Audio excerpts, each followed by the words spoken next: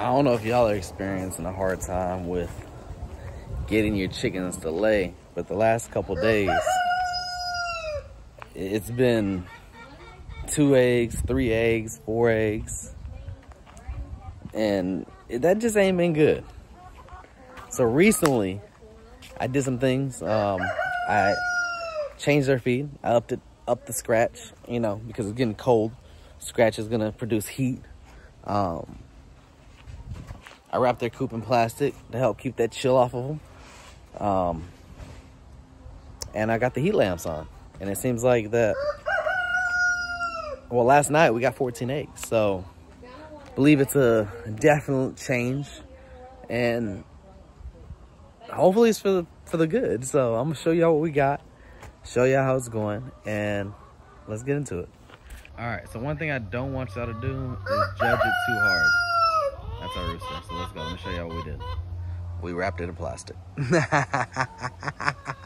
you get the general idea. It is wrapped. It is a wrapped present box, and I think it will most definitely help because we got to chill that shoot straight over here, straight to here, and last thing I want them to do is freeze.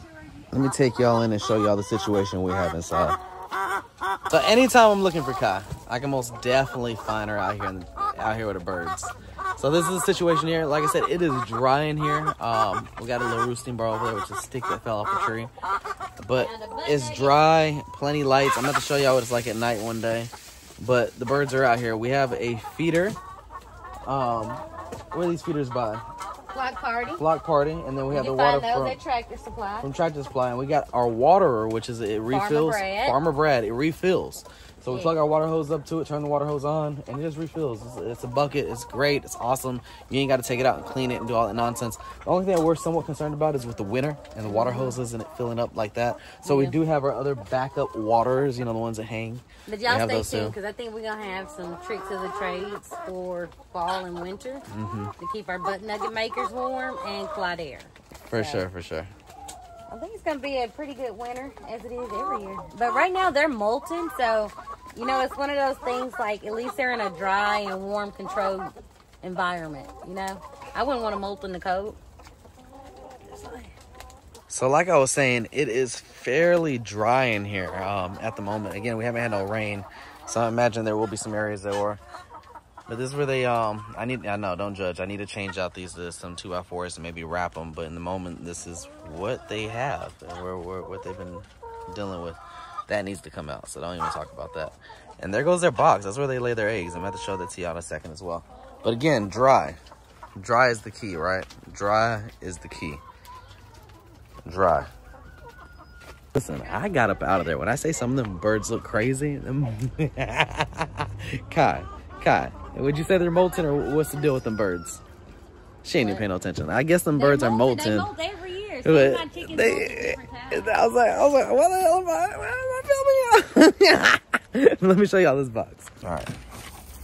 So as we pop it open, we got eggs. And as you can see, we got some eggs up here. We got some eggs down here. Eggs over here. I don't, none over there. And then there are two more spots over here. I don't know if there's any eggs. I don't think so. But we have one heat lamp in here, and that's helping them out. They they they they they they, they know what I've done. They know I, I, I've opened it. So let me get up out of here.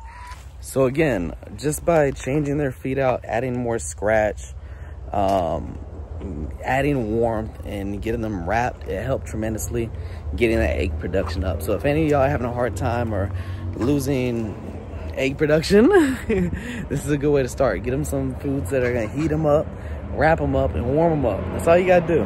Try it, see what, see how it works out, and hopefully you have success. We're hoping that it continues. So. Wish us luck. Till next time.